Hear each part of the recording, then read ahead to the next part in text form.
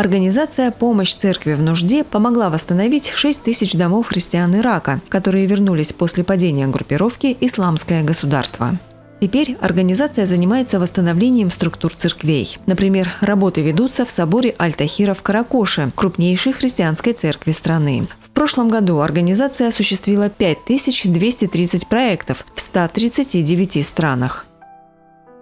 Qui c'è una, una una caratteristica particolare che è у нас есть интересная особенность. Мы оказываем пасторскую поддержку, и здесь я подчеркиваю пасторскую поддержку страдающей церкви.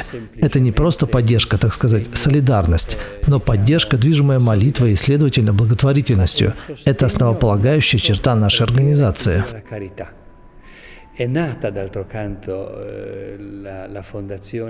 Организация осуществляет свою деятельность благодаря 330 мелким и крупным дарителям, жертвующим деньги в фонд. В своем последнем отчете после выражения благодарности за пожертвование Папский фонд отчитался о деятельности и объяснил, на что были потрачены 106 миллионов, собранные в 2019 году.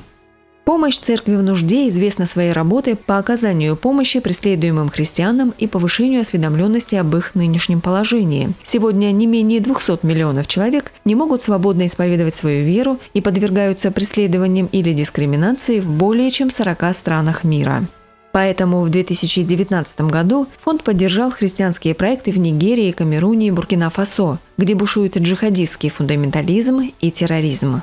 Also our project partners informed us также партнеры по нашему проекту сообщили нам, что в районе озера Чад в Камеруне, Нигерии и Чаде Боко Харам восстанавливает свое присутствие, используя новые стратегии запугивания, такие как отрезание ушей сельских женщин в качестве наказания за то, что они не повиновались их проповеди.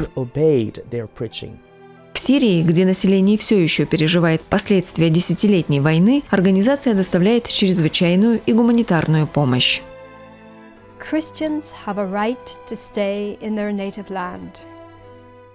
Христиане имеют право оставаться на своей родине. Наша материальная помощь позволяет христианским семьям выживать и тем самым помогать христианам оставаться на Ближнем Востоке. Положение наших братьев и сестер в колыбели нашей веры остается уязвимым, но мы будем продолжать делать все, что в наших силах, чтобы поддержать их.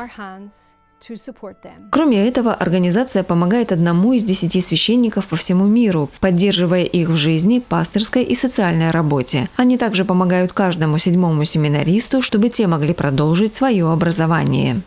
Кроме того, известно, что около 13 тысяч монахинь работают в зонах военных действий, трущобах и изолированных районах. Теперь приоритетом помощи церкви в нужде является поддержка этих монахинь во время пандемии, чтобы они могли продолжать заботиться о многих забытых людях. Я хотел бы поблагодарить вас за то, что вы остаетесь духовно здоровыми и не упускаете из виду причины, по которым церковь страдает.